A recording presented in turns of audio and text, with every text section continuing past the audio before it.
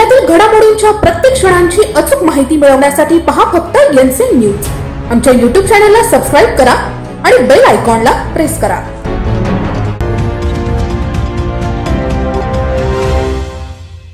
ओझर नगर परिषद की ग्रामपंचायत या वादात असलेली ओझर नगर परिषद ग्रामपंचायत कर्मचारी आज त्यांच्या विविध मागण्यांसाठी बेमुदत उपोषणास बसले आहेत. या मागण्यांमध्ये प्रमुख मागण्या अडीच ते तीन वर्षापासून कामगारांचा पीएफ भरण्याबाबत तीन महिन्यांपासून कामगारांचं मासिक वेतन मिळण्याबाबत वार्षिक बोनस मिळण्याबाबत सेवानिवृत्त कामगारांची ग्रॅज्युटी फंड व पीएफची रक्कम व्याजासह मिळण्याबाबत इत्यादी मागण्या आहेत.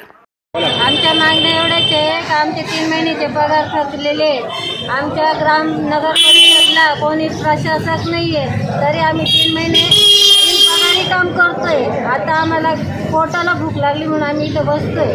आणि तीन वर्ष झाले आमचे फंडामध्ये पण पैसे टाकलेले नाही आहे आणि जे रिटायर झाले त्यांना गॅजेटी सुद्धा भेटेल नाही आहे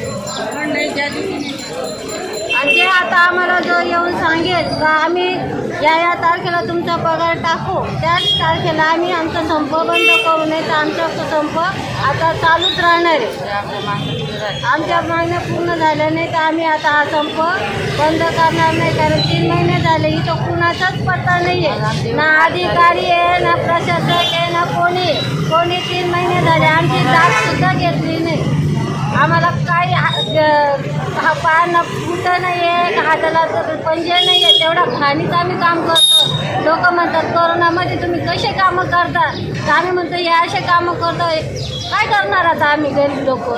स्थानिक राजकारणाच्या वादात सापडलेली नगर परिषद ही ग्रामपंचायत यांचा निकाल येत्या सात तारखेला हायकोर्टात लागणार आहे. परंतु कोर्टाने प्रशासक म्हणून निफाड तहसीलदार यांना नियुक्त केले आहे. पण तहसीलदार साहेबांनी कुठले कुठले काम बघायचे या प्रश्नाचे कोडे अजून सुटलेले नाही.